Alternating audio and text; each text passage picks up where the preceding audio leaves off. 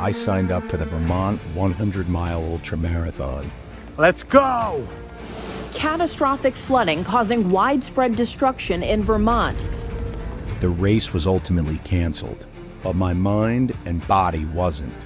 My response became my mantra to honor my commitments and hold myself to a higher standard. I mapped out a plan with two days' notice. I let my crew know I was going to do a self supported race in my local area. I told them they didn't have to come, but I had to do this. There's a quote character develops in darkness. Character, like a photograph, develops in the darkness.